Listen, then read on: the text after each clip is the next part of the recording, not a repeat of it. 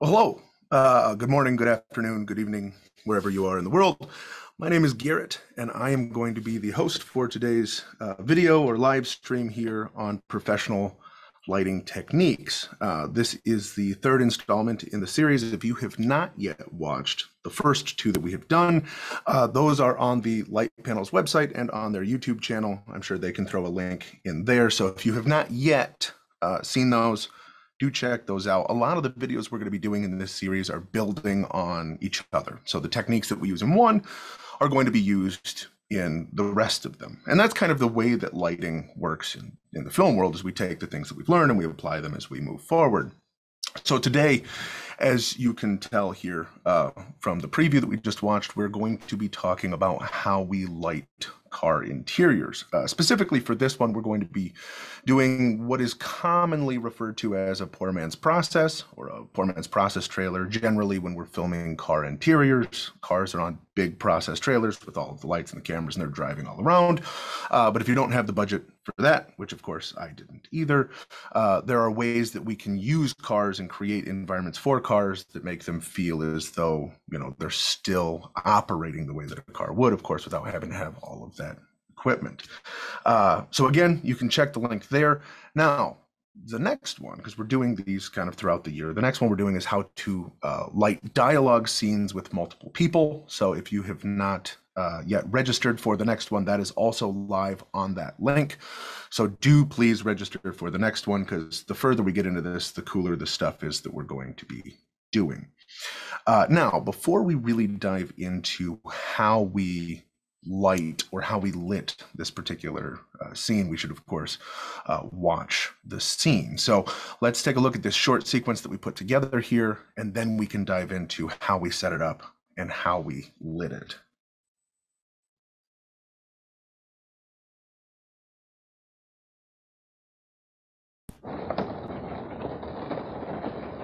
Hollenbeck units in 471, 471 to 211 just occurred, New Jersey and Savannah, New Jersey and Savannah. Suspects are armed with a handgun. They're described as three male Caucasians, all wearing white shirts, blue jeans, one wearing a cap. They were last seen walking southbound on Savannah.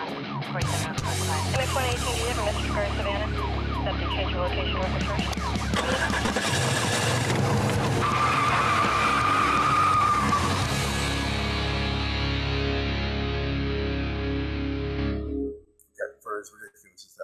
Title card was there at the end, there's a lot happening here in this scene that we need to break down.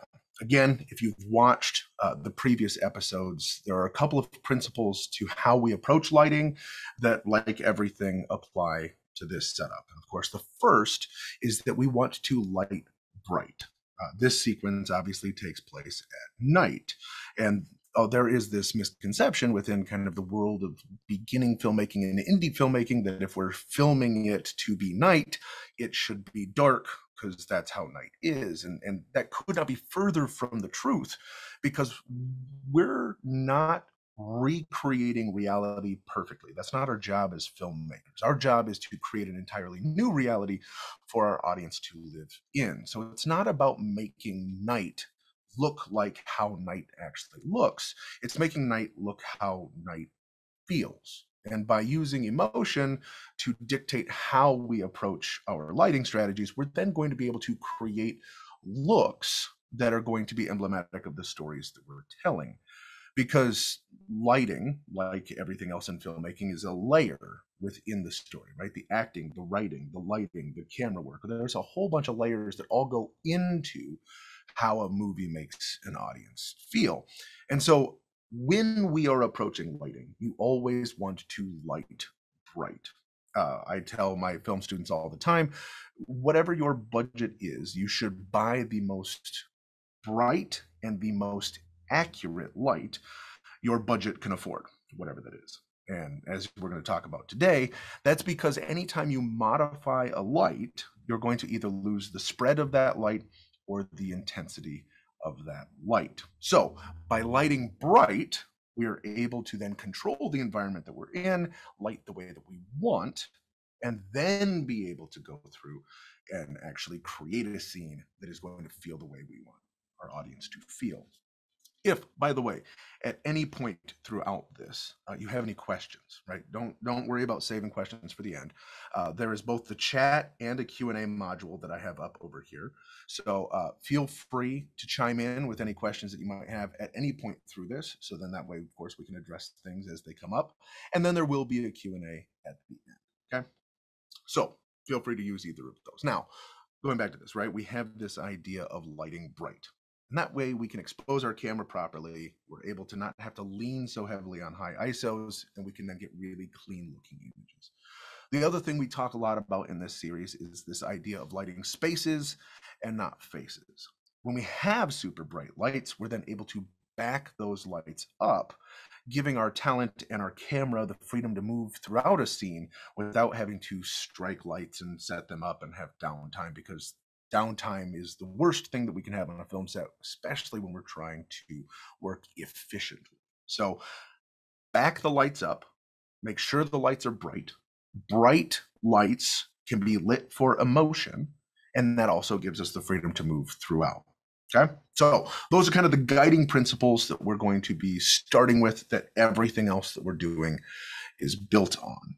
Okay, so the lighting style that we are using here is a style called a reverse key light.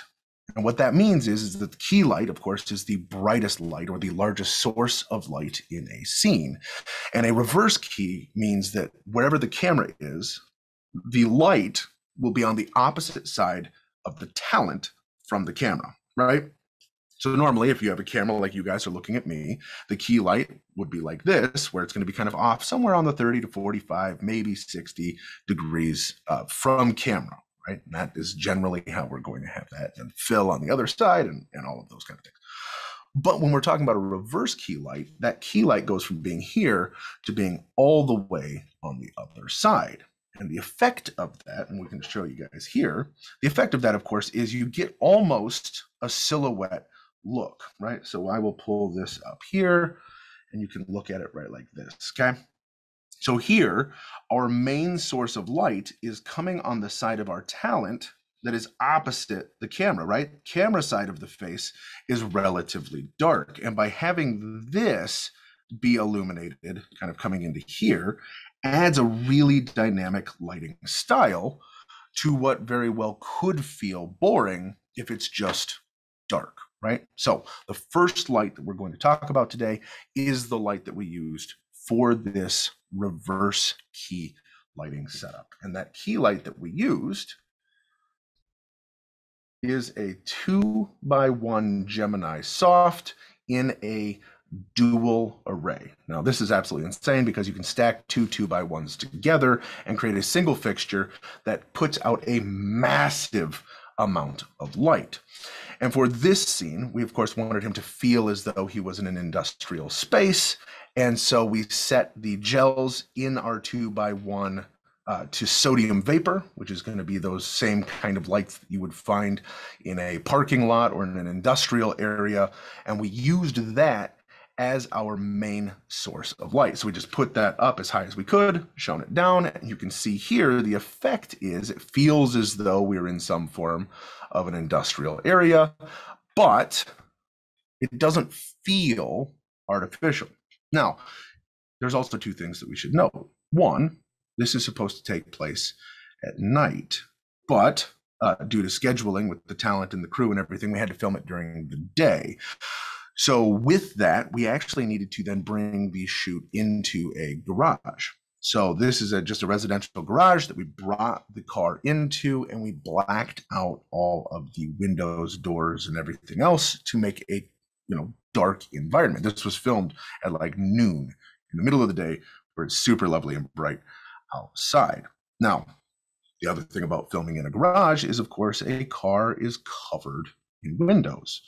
So if we're in a garage and we have bright lights, that means that the environment of the garage is going to be visible through the windows. And we couldn't have that, right? Uh, so what we did is we did a combination of two things. The first, and this is kind of a cool piece here, uh, this is something called dulling spray. And dulling spray is sweet because it's temporary. It comes off. You don't have to, you know, go through and scrape it off or anything. It's a pretty easy thing to do. But all it does is, as the name would imply, is it kind of will frost glass, right? So the nice thing about this is I could then take this, shake the can, and spray it on the windshield and then on the far side of the car to then make it so that we couldn't see directly through the windows. Now, of course, I wanted it to feel like it was raining, right? I didn't want it to feel as though it had just snowed and there's frost all over the car. So the next piece that we did is the trick that's used oftentimes when we're creating sweat on people, right? So if you want somebody to be sweaty on camera, you use a combination and it's about a 50 50 mixture of glycerin and water. Uh, glycerin is a super viscous liquid. Water obviously isn't, but the combination between the two allows water to run a little bit, but still kind of hold and stick, uh, as opposed to just beating off entirely. So we used this combination of glycerin and water after the dulling spray to then break up some of that frosting to kind of give us a little bit more um, in or uneven kind of displacement of that in the background. And you can kind of see here if we come here, it looks like in the background on the window there that we have rain from the outside, right? That's how it looks in this shot, even though, of course, because we were in a residential garage, we weren't spraying water anywhere. The effect of the rain is sold between what we did to the window treatment and then just through sound design By adding the sound of water and by seeing kind of this displacement in the windows, we then believe that it's raining outside, even though, of course, it wasn't. Right. So those are kind of two pieces that we did here. We had to film inside during the day. And then, of course, we had to then obscure the windows so that way you didn't then see the garage. But this reverse key, right? Let's talk a little bit about this here. So if we look at a lighting diagram that I've got here, let's go here right? So on our 180 degree line is going to be kind of set at about here, right? So we're only going to be kind of on this half of the of the car, um, and that's also because the garage door is kind of right here. So we're fairly close up against the garage door. But we put this two by one dual array together to give us a massive source of light that's coming down across the car. So then if we're in the car and we're facing this way or we're kind of here in this shot, no matter where we are going to be pointed, this light is going to be opposite our talent from the camera side. And that's what is going to sell this effect of this reverse key lighting, the super dynamic lighting. Now, two by one is extremely bright. And the nice thing is, is because we had this diffusion over the windows, right, or this obscuring of the windows, we then didn't need to flag off the rest of the garage, and we could actually use that as bounce or reinforcement for our key light. So the ceiling of the garage is white, the inside of the garage door is white, and having this giant light source spraying light across allowed it to kind of come through multiple windows while still being directional and sourcey. So anytime you guys are looking to film something that you want to feel very dramatic or very intense, right? We want to kick that key light away from the camera as best we can. And the further away from the camera we kick that light, the more dramatic that's going to feel. So that's the first light, right? That's the way that we work. We were in a garage during the day for something that's supposed to be outside at night, but using light and the color of light is something that we can use to sell that, right? If this was just white light or if this was just blue light, it wouldn't necessarily give that same industrial feel. So, what we do is because, again, we're creating our own reality, we're just going to flood it with this orange, and people are going to have their own life experience to draw from, and it's going to make it feel as though we're in an environment that, of course, is more reflective of the story. Uh, hello to New Zealand, and hello uh, to Paris, France. So glad to have you guys uh, here. Okay, so that's the first light. And you can see in even some of these other shots here, like if we play across here, the way that that light plays across the face is really, really, really pleasing because while it is super intense and super bright, you can kind of tell right there on the cheekbone here, we're not blown out in any way because we're getting this natural diffusion from inside the car, the way that it breaks up. So that is our first light. Okay, that is the most important light when you're doing a reverse key lighting setup. Man, we've got a ton of folks in here. I love it. Hi to Canada, Glasgow, Scotland, uh, Germany. Uh, let's see here. Diane asks, uh, with the dual array, does that equal two uh, lamps set in tandem? Yeah. So the cool thing with the dual array is that you can set them up in the bracket and treat them as individual fixtures. So if you wanted to do uh, gradiated lighting, if you wanted to do different effects within the lighting, multicolored lighting, you can do all of that treating them separately. But you can also then connect them via DMX and treat them as a single source light. So depending on how you want to do it, uh, you can either treat them as a single or as two fixtures, uh, just depending on how you have it configured. And of course, like all of the Geminis, uh, they support both hardline DMX as well as wired or wireless DMX. Um, so depending on how you want to configure that, you can do that however you want. Uh, we got some Philadelphia in the house. We've got the UK going on. We got Abu Dhabi. Uh, man, this is so cool to have you guys all here. Okay, so first light, key light, reverse key. That's where we're at.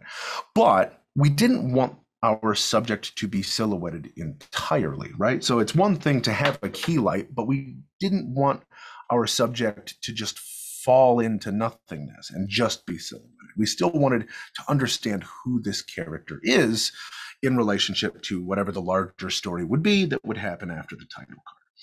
And so, with that, we of course needed to then fill that light in.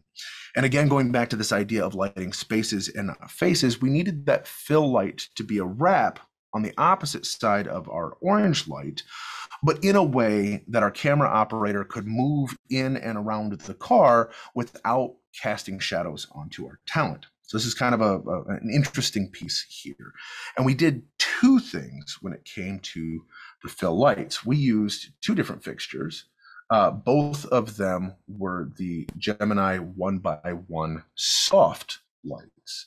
Uh, and we had two set up. One we had set up just outside of the A pillar, right here in front of the car, uh, pointed through that window and the other we used from behind the car. So you can see here's the A pillar, and you can see kind of on the back side there. We put a honeycomb on this front one because we really wanted a direction, make a direction out of that. And then the one in the back of the car, which you can see here, uh, we put on a snap bag and a snap grid or an egg crate on it and pushed it through the rear of the car, which you can kind of see poking through right there. And what that did is that gave us two directions for our lighting, and we could control the intensity of each. But then our camera operator is able to move through the scene because we have fill coming from two directions, and we wouldn't then cast unnecessary shadows onto our talent. Now, you'll also notice that that light is green. Okay, so in the same way that we gelled the lights with the internal gels for sodium vapor on the outside, we then wanted to contrast that light uh, with our fills. We didn't want to push white light. We didn't want to push just neutral light. We wanted to keep it still very stylized. So for that, we used the HSI settings within the Gemini one by one softs, which is the hue, saturation, and intensity. And that gave us the ability to really dial in the perfect color when you're doing contrasting color work like this, uh, you really want to look at kind of a color wheel. And then what one color is on one side, the opposite end of the color wheel generally is what we would call a contrasting complementary color. So for this, the exact opposite end of the wheel from orange is blue, but just off of that is this kind of cyan green that we wanted to play with. And I didn't want this light to be so bright that it was very apparent and very obvious that we were pushing and filling light. I wanted it just to be enough that we could see details on our subject, uh, but still not so much so that it seemed sourcey. So all of the Gemini lights, the two by one soft, the one by one uh, soft, and the one by one hard, which that's the one by one hard there, are all insanely bright lights. But the nice thing is, is that you have the ability to adjust the intensity by a tenth of a percent. So you can go from anywhere from 0.1% all the way to 100% at a tenth percent, which is amazing. So for those, we really only had those pushed, I believe, if I remember correctly, somewhere between like five and seven percent of that light output. Again, because we just wanted enough to push that in. So if we're if we go back here uh, to our lighting diagram here, you can see here, again, this is our key light, our reverse key here, pointed this way. This is where our main light is coming from. But this is the light that we have pushing through this A pillar. So most of this light is going to be coming through the windshield on the opposite side. And this light is going to be used to kind of illuminate the cheekbone here, the bridge of the nose on the face, and just a way to kind of get a little bit of separation from our subject from just falling into nothingness. Uh, we put a honeycomb on this, which is a really tight grid on this first light here. Uh, because again, I didn't want that light to spill everywhere. I wanted it to be super directional and really just focus on our subject. And again, I didn't need a ton of light. So by having the honeycomb, even though we're going to lose a significant amount in terms of stoppage of our light, I still was able to direct that light exactly where I wanted it to go. Now with the second one over here, we put it in a snap bag, which is a, a, soft box. And then I didn't put any diffusion on the front of that. I just wanted it for direction. And on the front of that soft box, I then put uh, a 60 degree snap grid, which is uh, just kind of what we would call an egg crate. Um, and that again was uh, inside the tailgate here, but outside the vehicle. And that was just to push light inside the car, again, primarily focusing on the back of our subject, right? And this is what we would kind of use both as a fill and a backlight, right? Because again, the idea of a fill is to complement the key light while still maintaining contrast. And then a backlight or an edge light, hair light, crown light, rim light, a lot of names for it, is to separate our foreground from our background. So the light that we had in the back of the car was kind of doing double duty, uh, again, giving us that nice wrap across the subject, but at the same time, of course, separating that subject from the background. Okay, we've got more folks here. We've got people from Bulgaria, Spain. Jared asks, what ISO and camera are you using? Was it overlit and brought down in post, or was it that contrasty on the monitor? All very good questions. So going back to this misconception of when we film night, it needs to be dark could not be further from the truth. We want to light it very bright. And that's because all cameras, regardless of the camera that you're using, have what is called a native ISO, right? Digital cameras, by the way, different for film cameras, but digital cameras all have what's considered a native ISO. And even if you're rocking a camera that has extremely high ISO capabilities, the best looking image that that camera is going to produce is going to be at whatever that native ISO is. So for us and what we were doing in this one, we were filming with the Red Komodo. And so native ISO on the Red Komodo is 800, and that is where we kept the ISO uh, in camera. And so we needed to make sure that we had enough light that we were able to film at native and then of course you know not need to over crank our iso or like make the depth of field super super shallow because that's the other thing. If we have to open up our lenses all the way your first ac is going to hate you because they're not going to be able to pull focus well or you're just not going to be able to achieve critical focus all the time right I'm sure you guys have either worked on projects or seen projects from folks who are just starting out and they have this extremely shallow depth of field. I have a 1.8 lens, I have a 1.4 lens, I've got a whatever. And like it's a razor thin focal plane and it becomes really hard to tell what's going on. So we don't want to have to do either of those things. And that's why we have extremely bright lights. Uh, but Jared, to the second half of your question here, yes, it was lit in a way to be exposed evenly on set and then brought down in post. That's the best way to color grade is to light bright, grade dark. Um, and in the monitor, uh, we were using SmallHD monitors and we were able to toggle uh, preview LUTs and then looking at just the raw video. So most of the feed that I was looking at, I was looking at the low contrast versions just because I like to be able to kind of see the entirety of the image. But if I wanted to check with DIT or see where my exposure values are, I could flip over into a preview LUT that we put in and kind of see generally what that look would look like um, when we're done. So there's that. Hello to Mexico City. I'm so glad you guys are here. Uh, yes. So Sarah asks, uh, did you have the two by ones on full intensity uh, for the reverse key? And the answer to that question is yes. We had both of the two by ones at full intensity because we wanted that to be a very, very overpowering light. Uh, and then, of course, the fills we were using uh, very little of because we just wanted to fill in some of those detail elements.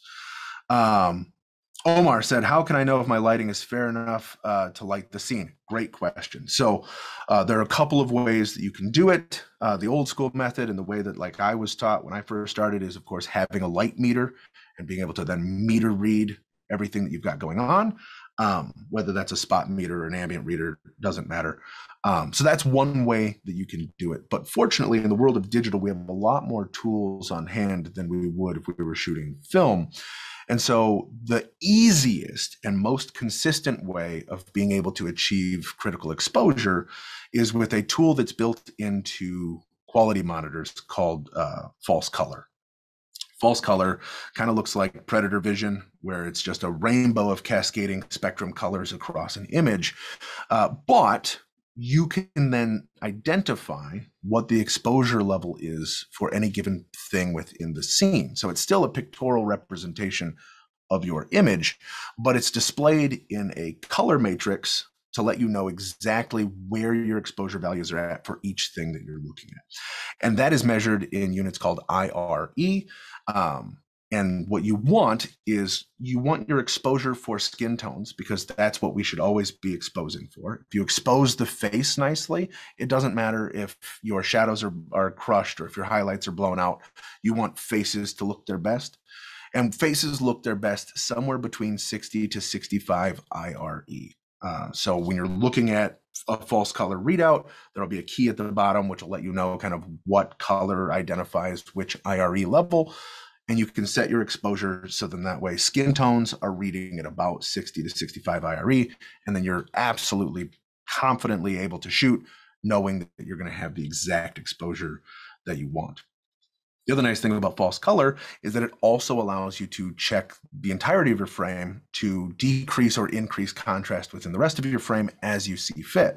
So, you know, where zebras will kind of only give you stripes over what is overexposed, with false color, you're able to then see how much something is overexposed, where that is, is it able to be recovered, is it not, and same with the shadows. Um, so I swear by it, all the SmallHD monitors have that all built in. They're incredible tools, but whatever it is that you're using, false color, uh, sometimes it's called exposure assist, uh, but they're the same thing. That's the tool that you would use uh, for exposure here. Okay.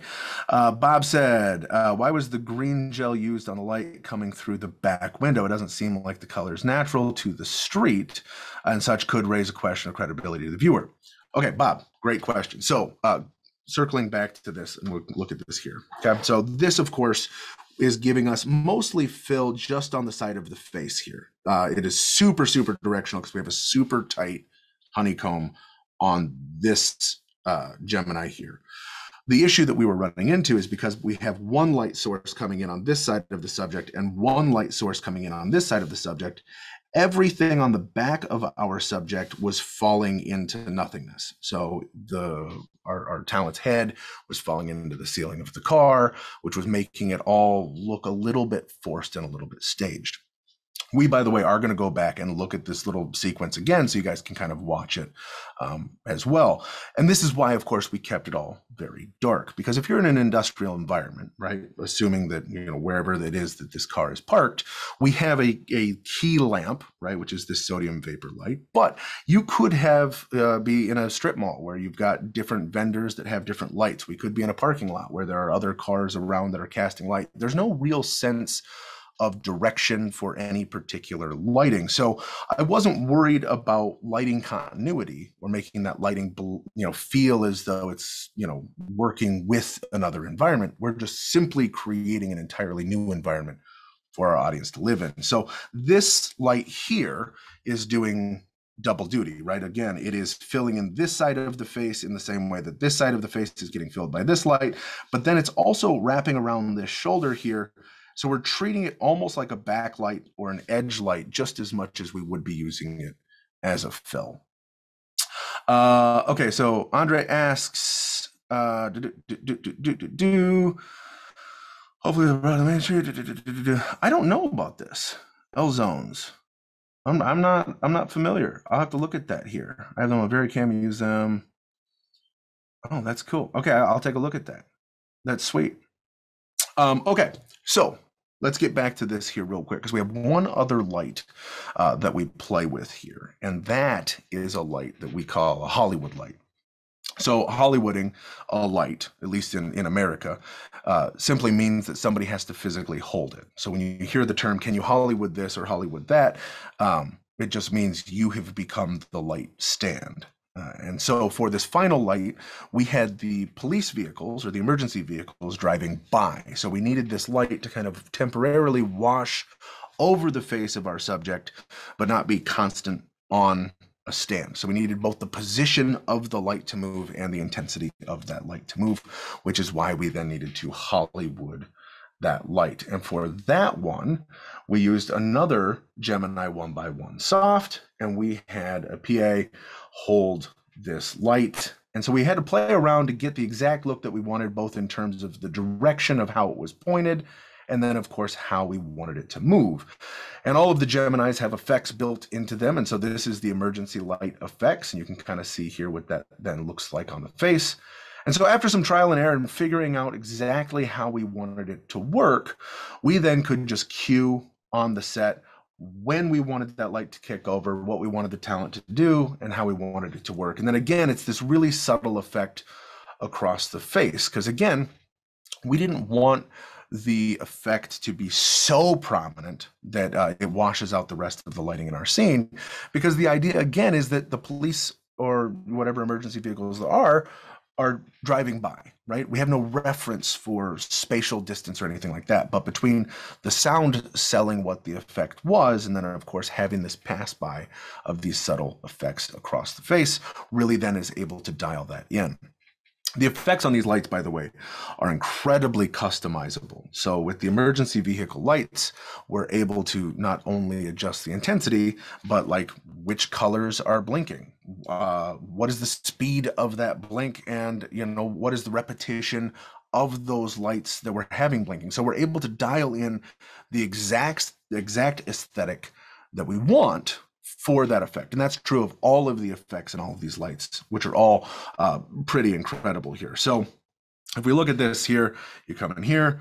So again, key light are two fills. And then with that same uh, 40 degree honeycomb that we have on this light, we also put on this light because I didn't need a ton of light, but I did want it to be very directional. And I didn't want to have to worry about a ton of spill washing all over the place as we're trying to operate this light.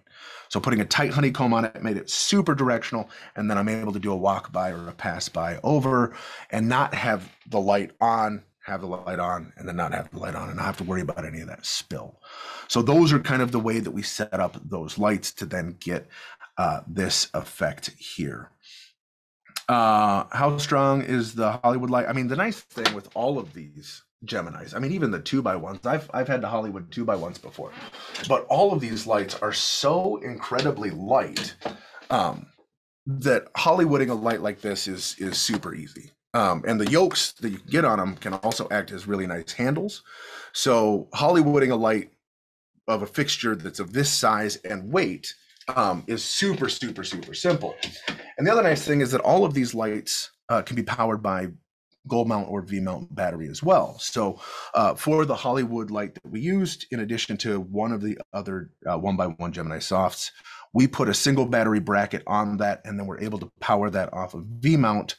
Uh, which was great for the Hollywood light because then we don't have to worry about tripping over cords as we're kind of walking around and moving around uh, the set here. Uh, Dakota asks, how does the output of the 2x1 compare to a COB with softbox setup? Is this comparable to something like a 300D, for example? Great question. So the 2x1 uh, is definitely going to be brighter than a 300D. I have a 300D. I have the 2x1. 2x1 is absolutely brighter. The biggest difference that you're going to find, though, isn't necessarily the brightness, right? Uh, it, it's much more of the way that the light behaves. So when we talk about the behavior of light, how we want light to act in the way that we have things set up, we generally determine that by the harshness or hardness of a light to the softness of the light, uh, which is implied in the naming scheme for the Gemini lights, a one by one soft versus a one by one hard, right? For example, the behavior of that light, even though the fixture itself looks identical, is going to behave differently. And panel lights behave much more differently than chip on board or, or COB style, Fresnel style LEDs. And that comes down to two things. One is the surface area of a light. The, the way a light behaves is directly determined by the relative surface area of that light in comparison to the subject right? So the larger the surface area of a light is, the softer that light will be. The smaller the surface area of a light is, the more harsh that light will be. Uh, the example that's easiest is that, of course, the sun is a giant source of light, but it is so far away from us that the relative size of the sun, when you look up in the sky, is pretty small. You know, it's, it's, that big. Um, whereas, so when you're outside on a bright sunny day, really hard lines, hard contrast, very harsh lighting because the relative surface area of that light compared to a subject is very small. Now, on a cloudy day, it takes that small surface area of light and it scatters that across the entire sky, making the relative surface area of that light much, much, much larger, which is why on cloudy days, it's not harsh lighting, it's very soft lighting. People look very, very good. So the same is true when we're talking about fixture lights. So a COB style light or a chip on board style light has a very small surface area for that light source. So the way that that light behaves is going to be wildly different than even a one by one, which the surface area of this light is going to be massive in contrast to. So when you're looking at lights the brightness very important accuracy equally important but also the way that we want lights to behave the reason why led panel lights and specifically the gemini lights are used on so many hollywood film sets is because dps love the way that panel lights behave not to say that you don't use Fresnel style lights or HMIs or, or COB style LEDs or any of those. Like those, all of those types of fixtures serve a purpose. But the reason why panel lights get used so often is because it makes people look really, really good. Um, so brightness of the two by one compared to the 300, the, the panel itself is bigger, but the bigger takeaway between those two is, of course, the way that those uh, behave. Okay, so again, as we keep going through this, if you guys keep having questions, throw them in the chat, throw them in the Q&A. I would love to kind of keep getting into that here. So those are the lights that we used, right? Those are the, the the different setups that we have here. And so I wanted to look at a couple of these and we can kind of see how they play here. Okay, so in this setup here, obviously we have our big key coming down this side here. And on this part of the frame, we have a whole lot of darkness. Same with the ceiling here, same with this, right? This is why we had the two by one dual array set at 100% because we really wanted to have this intense contrast. But if I pinch to zoom in here, and I don't know what the difference between my screen and your screen is what you're seeing here, uh, but we have a really nice fill coming across the back of our subject's head here, which is separating the head here from the background. We're catching it in the ear here as well. And that's all coming from the light that's behind our subject. And then on this side of the bridge of the nose, here on the cheekbone, and then, of course, in the eye and eye socket here, we're then getting that front fill, which again, neither of these lights draw attention away from our key, but they do a great job in giving us a little bit of contrast. Because if we lost our subject's eye here, for example, or the ear here, or even the subtle separation that we have back there, and we just had the front or the key light in our reverse configuration, our audience wouldn't necessarily gain the same connection with the subject that we would want. This is kind of more uh, going into cinematography land here than lighting, but they're so intrinsically tied together. Uh, humans look for eyeballs. That's what we are always doing, uh, just as a species of, of thing. So when we're talking about film, and how we want to film stuff and how we want to light stuff, we want to make sure that the audience can see eyeballs because that's the thing that helps audiences connect with subjects or with characters in our movies, right? This is where we talk about things like catch lights, right? Catch lights are reflective lights that we see in the eyes, and that helps make people feel alive. We don't necessarily have catch lights. Uh, people have a tendency to seem dull or, or dead, right? They don't look their best. Uh, the same is true with narrative work. If we don't have a way of connecting with our subject and seeing the eyes of our subject, our audience isn't going to connect with them. They're going to seem uh, vacant, they're going to seem unapproachable.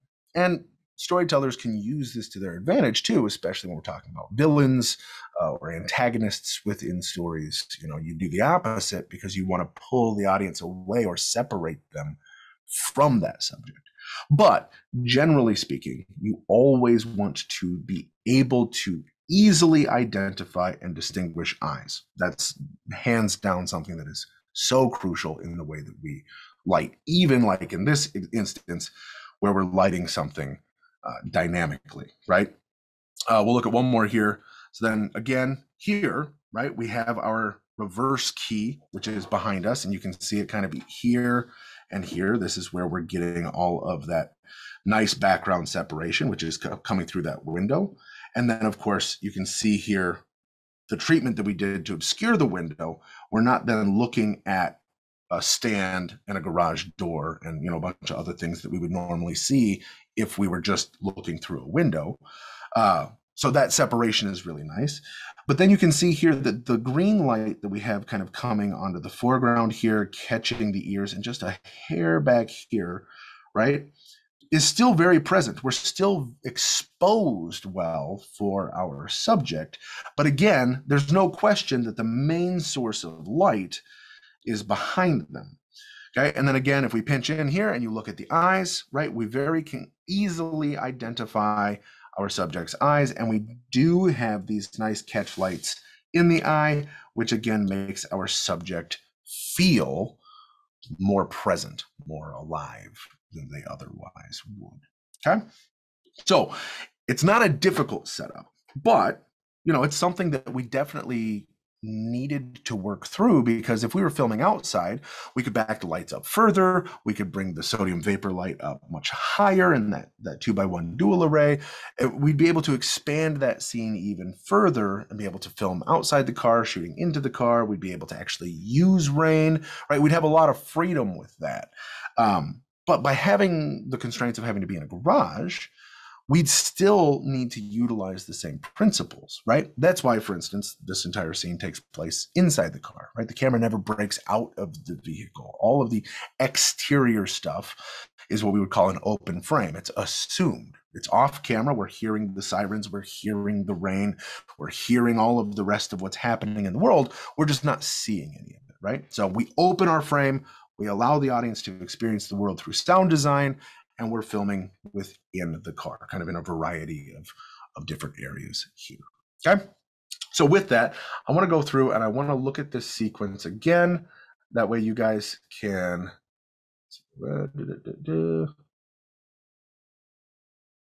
No. Maybe. Yeah. Okay. Cool.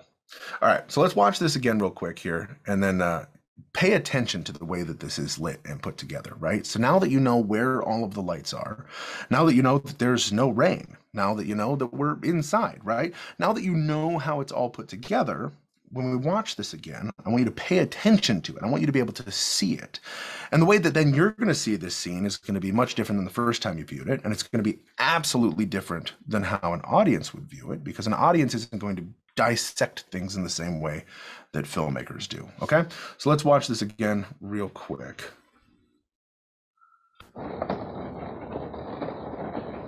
Hollenbeck units in 4071, 4071 at 211 just occurred, New Jersey and Savannah, New Jersey and Savannah. Suspects are armed with a handgun. They're described as three male Caucasians, all wearing white shirts, one wearing in a cab. They were last seen walking southbound on Savannah. Corey Center, first time. MX 118, do you have a Mr. Kerr, Savannah? Subject change your location, work with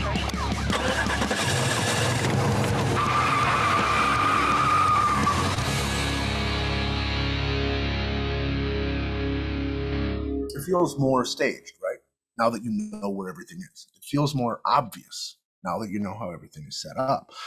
It definitely doesn't look the way that real night looks but that doesn't matter. That's not what we're creating.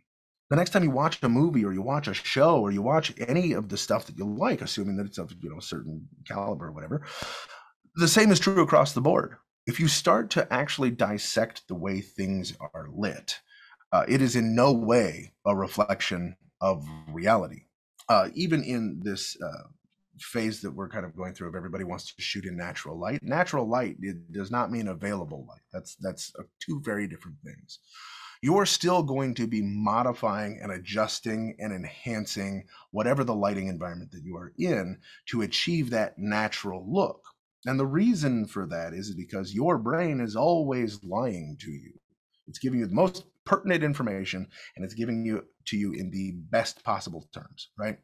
So uh, you know when you are in a public place and you're seeing a bunch of people it's like oh hey you all look great right? The second you pull a camera out and you just start filming what's available you'll see that the camera doesn't lie in the same way that your brain does and reality or natural light actually looks pretty bad on most people most of the time what people are talking about when they talk about natural lighting is that they don't want it to look sourcey. They don't want it to look like studio lighting. They want it to look completely blended in.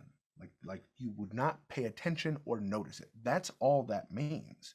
It doesn't mean that we're not bringing lights in. It doesn't mean that we're not scrimming lights or that we're diffusing lights or that we're adding lights or bringing in negative fill, right? There's a lot of ways that we can adjust light but shooting natural light and shooting available light are two wildly different things. And if you're doing narrative work where you have control over the environments that you're working in, there should never be a scenario where you're not adjusting, modifying, adding, or removing light in that environment. Documentary gets a little different because you don't have as much control. But for stuff like this, it's not about recreating reality perfectly. It's about creating a new reality for our audience to live in. Okay, so quick recap, and then we'll open it up to Q and A. So if you have questions, feel free to toss those in here. Okay, so real quick recap: we've got four sources that we're using here, four fixtures that we're using here.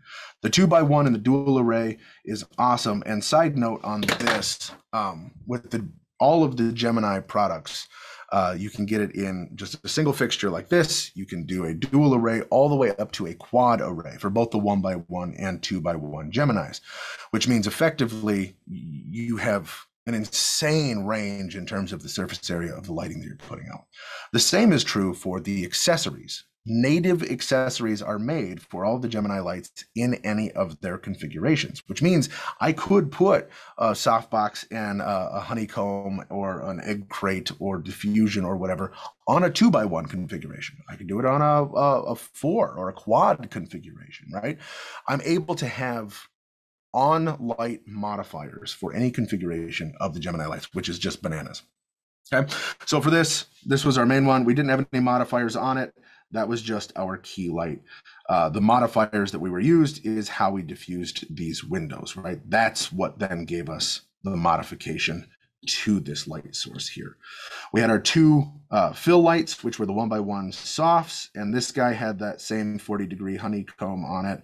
And this guy had the uh, snap bag or the uh, soft box and the egg crate on that one as well.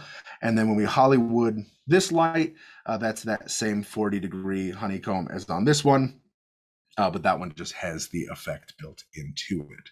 Okay, so lighting bright, grading dark, right? That's number one, lighting spaces and not faces, right? That's the other. And then when we want to film dynamic lighting, we want to make sure that the camera is always on the shadow side of our subject, wherever that is. And the more you kick that key light out, the more dramatic that becomes until you get all the way to something like this, which is what we would call reverse key lighting. Okay. So that's how it's set up. That's how it works. Uh, if I was going to actually film this at night and we were actually going to be outside the way that we originally planned, the lighting setup would stay the same. The biggest difference would be those lights would be backed off of the car further and elevated a little bit higher to give us even more freedom to move in and around the car. Uh, but the principles are entirely the same for all of those. Uh, can we take a look at the ungraded footage, please? Yes, Eric, we can. Let me pull that up for us here so that we can kind of see just how bright uh, it actually was when we were filming it. Give me a second here, I'll do that. Um, do you have any reflection issues with the glass? Great question. Uh, so when we're talking about reflections, there's a couple of tools that we have. One, the thing that every DP uh, or first AC or anybody in the camera department should have are polarizer filters. Uh, polarizer filters exist for the sole purpose of cutting out or cutting off reflections. Um, so that's something that's going to be done by the camera department more so than the lighting department. But if you don't have a polarizer filter yet, that's far more important than any sort of diffusion or effects filters or anything that you have. You should have neutral density and you should have polarizer. That's number one. Um, number two, also then, of course, comes to lighting placement. If any of you have had the pleasure of filming folks who wear glasses, you'll know what I'm talking about, right? Depending on where those lights are in relationship to where the camera is, will determine, you know, where the reflections off of those glasses come from. So elevating lights helps a lot. And then, of course, again, kicking lights out around our subject and kind of a dynamic lighting setup like this uh, that's going to be uh, the best ways to avoid that. But polarizer filters, hands down, are going to be the most crucial tool to doing uh, that there. Okay, so ungraded footage real quick here. Let me pull some of this up. Uh, okay. Oh, by the way, uh, I am going to be posting about this and doing side by sides of the graded footage and ungraded footage on my Instagram. Uh, my Instagram is just my name, so it's just at Garrett Sammons. So if you guys want to see that, I will be posting that today. Um, this little, there's a little bit of a sequence that I teased on there that's on my Instagram now, but the rest of it, uh, you guys will be able to see here in a little bit. I'll just put that username here. So do follow me if you, oh, good, they put that in the chat there. Do follow me. If you guys have any questions, comments, concerns, suggestions, things that you guys would like to talk about, that's a great way to get in touch with me. Uh, you can also do that through the uh, sign up page with Litepanels. So signing up for the next one um, is going to be super important because again, the further we get into this, the cooler this stuff is going to get. Um, so far, we've done interview lighting, which is a super important thing that all filmmakers should know how to do uh, because whether or not you get into docu work, corporate work, uh, or narrative work, understanding how to film people, that's important. Uh, the second one was how we film night exteriors. So there are some similarities to this, but it's a much bigger environment and we are outdoors. So that was that one. Uh, this one, of course, is the interior of cars. And then the next one we're doing is a multi person uh, dialogue sequence. So we're talking about how do you light three people who are in the same room at the same time where we're going to see all three of them.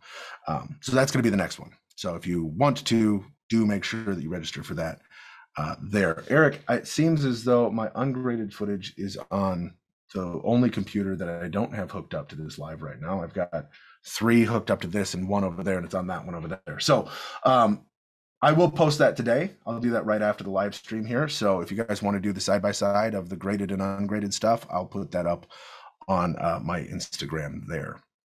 Other comments, questions, or concerns, whether they are about process, whether they're about fixtures, whether they're about lighting in general, stuff you guys would like to see. Uh, now is a good time to do it. We've only got a couple of minutes left here before we have to wrap this. So if you have questions, now is the time to do that. Um, the Litepanels team just put in the link for the next session. Again, please do register for that because that's uh, going to help this thing all get fired and, and moving forward.